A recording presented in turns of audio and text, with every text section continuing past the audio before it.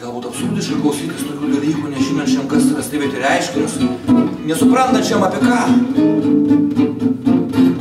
nesuprantančiam apie juos, kalbančio.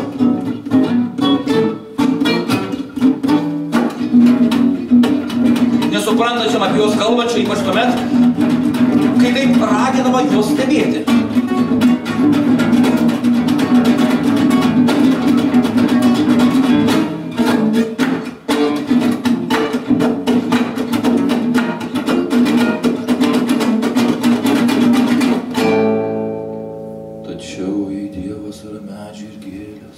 Ir kalnai, ir menulio šviesa, ir saulė, tuomet aš tikiu jį, tuomet tikiu jį kiekvieną valandą.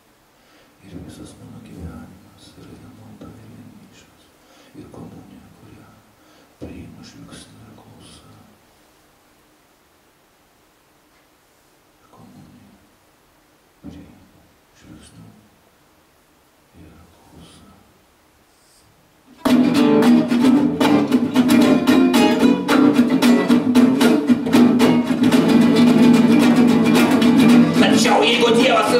ir gėlės, ir kalnai, ir šviesa, ir saulė, ir kodėl aš jį vadinu Dievu? Kodėl aš jį vadinu Dievu? Aš jį vadinsiu gėlėmis, ir medžiais, ir kalnais, ir saulė, ir šviesa. Kodėl aš turiu vadinti Dievu? Kodėl aš turiu vadinti Dievu? Jis gėlės, medžiai, kalnas ir saulė ir mėnulio šviesa.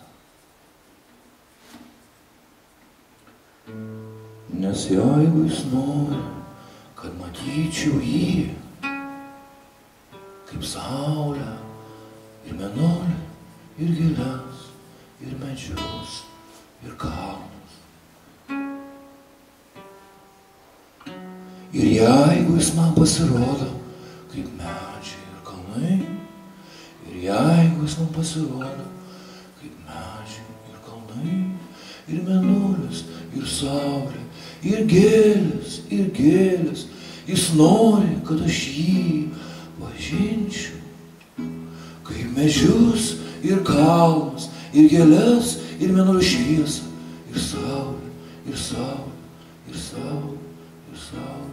Jis nori, kad aš jį pažinčiau kaip medžius ir kalnus, ir saulę, ir saulę. Todėl jam paklūstu. Ar aš žinau apie Dievą daugiau, negu Dievas apie save? Aš jam paklūstu savo buvimu, kaip tas, kuris atmerkia akis ir mato. Ir mato. Vadina į menulio šviesa ir saulė ir gėlėmis, ir medžiais ir kalnais, ir medžiais ir kalnais. Myli jį negalvodamas, galvoja apie jį žvilgsniu ir klausa ir būna su juo kiekvieną, kiekvieną.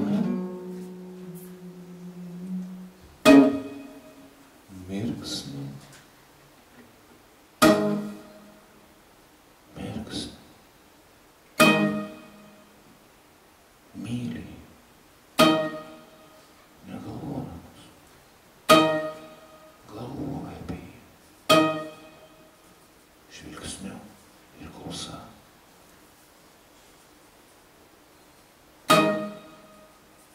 Ir būna su juo. Ir būna.